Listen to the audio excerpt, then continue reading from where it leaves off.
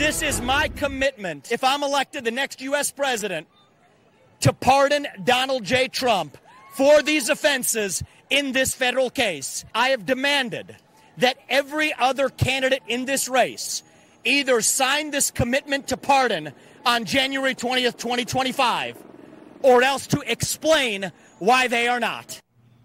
And just to make sure all the candidates heard his demands loud and clear, Vivek Ramaswamy followed up with a written letter to each one, Republican and Democrat. The first to respond publicly, Asa Hutchinson it shouldn't be a part of a political campaign. That's the most important thing. It's simply wrong to be discussing a pardon whenever we really have not gotten the facts out. Did he ever get that Walmart job? Joining me now, Vivek Ramaswamy, 2024 Republican presidential candidate. Vivek, great to see you tonight.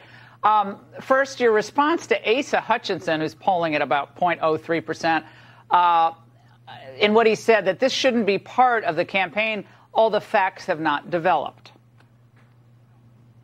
Well, look, I think we know enough to know that the most damning facts are generally in an indictment. So assume that's the worst case for Trump, and let's stand for what we actually believe. If you believe those are politicized charges, then actually say so, and it should be an easy decision, Laura, to say on January 20th, 2025, we will issue a pardon.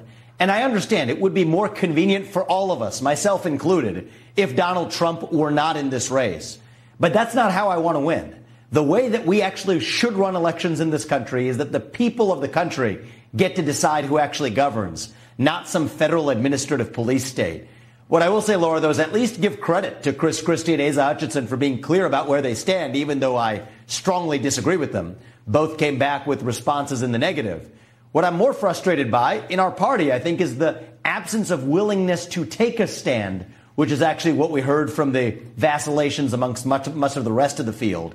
My view is I would rather speak truth at every step and forget about who wins the election. Let's speak truth rather than to play some political snakes and ladders. And I think that's something that our GOP and our movement needs to graduate from.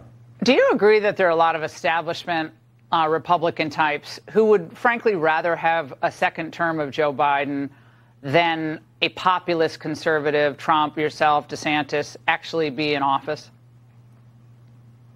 I think so. And I think especially as it relates to some of the hot button issues, such as how to engage in foreign policy. I've laid out a clear foreign policy vision that calls for breaking up the Russia China alliance. But yes, that would involve trading off some sacrifices in Ukraine. These are beyond the pale. This is outside of the Overton window, even in the establishment of the Republican Party. And so I do think that there's something deeper going on in the country, Laura, where the real distinction is not even between Republicans and Democrats right now.